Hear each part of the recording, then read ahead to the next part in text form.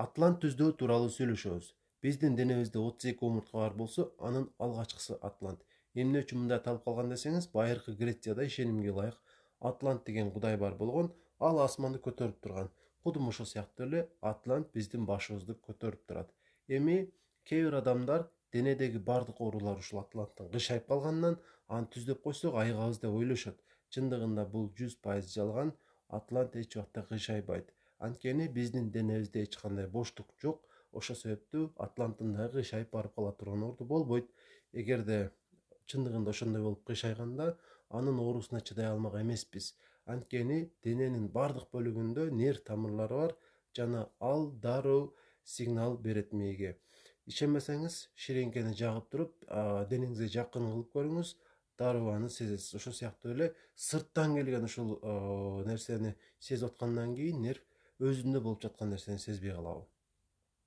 Ошондуктан буга ишенбей эле коюңуздар. Желкедеги ооруксунуулар чарчоолор бул атланттын кыйшайганынан болбойт. Буга себеп олтуруп иштөө же болбосо олтуруп унааны көпкө чейин айдоо. Ошол учурда мисалы биз бир аз алдыга обдулабыз анан ошондо омуртка ошол моюн омурткалары бир аз алдыга болот дагы. Ал эми көкүрөк омурткалар болсо бир аз артка кеткенсийт натыйжада ушул абалга организм э, өзүн э, көпкө чейин кармап тургандыктан ошол жерге э, көкүрөк омурткаларга күч келет. Жана ушундай ооруксунуулар болот ушундай кыйынчылыктар болот. Буга эч бир дары жана таблеткалар жардам бербейт. Анын ордуна эки нерсени мен аткарууну сунуштайм биринчиден кечке чейин олтура бербеңиз албетте олтуруп иштейсиз бирок туруп басып келип ушинтип абалды өзгөртүп турушуңуз керек.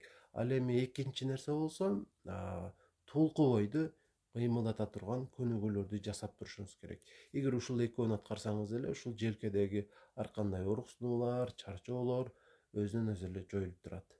Маалыматты өзүңүзгө сактап алыңыз жакындарыңызга жөнөтүп коюңуз